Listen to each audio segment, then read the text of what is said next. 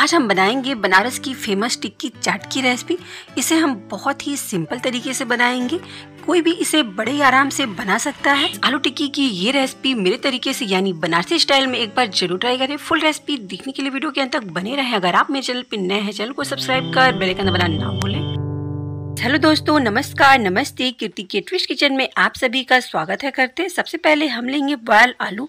इसे हम बढ़िया सा छिल के एक बाउल में डाल देंगे। इसमें ऐड करेंगे एक चम्मच गरम मसाला पाउडर स्वाद अनुसार नमक, एक चम्मच चिली फ्लेक्स और दो कलछा अरारोट एक चम्मच जीरा भी ऐड कर देंगे और आलू को बढ़िया सा मसल के इन सभी को मिलाते हुए इसका बढ़िया सा डो बना लेंगे। इसमें हम पानी बिल्कुल भी ऐड नहीं करेंगे। आप देख रहे हैं ये बढ़िया सा मसला गए हैं।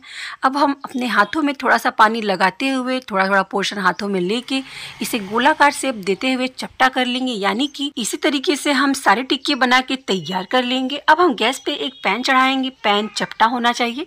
इसमें डालेंगे तेल। आप कोई भी ऑयल डाल सकते हैं। जब ऑयल गर्म हो जाए तो एक एक करके हम सारी टिक्की पैन में ट्रांसफ़र कर देंगे।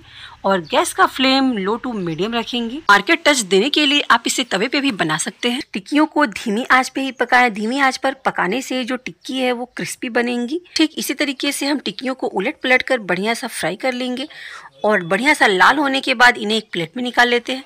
चाट लगाने के लिए हमने बाज़ार तैयार कर लिया। इसके लिए मैंने लिया है हरी चटनी, मीठी चटनी, कटे हुए प्याज थोड़ी सी आलू भजिया, नमकीन, कटी हुई हरी मिर्च और चाट मसाला पाउडर। फ्राई किए हुए दोनों टिक्की हम एक प्लेट में ट्रांसफ़र कर लेंगे और इसे चम्मच से इस तरह से चपटा कर लेंगे। उसके ऊपर हम हरी चटनी मीठी चटनी थोड़ी सी हरी मिर्च कटे हुए प्याज चाट मसाला पाउडर और आलू भजिया नमकीन डाल देंगे और इसे सर्व करेंगे। इसे बनाना बहुत ही आसान है। बस इसके बनाने से पहले ही हरी चटनी और मीठी चटनी बना के तैयार कर ले। आपको इसकी रेसिपी यूट्यूब पे या मेरे चैनल पे बहुत ही आराम से मिल जाएगी। आप इसे एक बार ज़रूर ट्राई करें और इन्जॉय करें और मुझे कमेंट में बताएँ कि आपको मेरी ये मज़ेदार रेसिपी कैसी लगी। वीडियो पसंद आए तो लाइक शेयर सब्सक्राइब करना ना भूलें।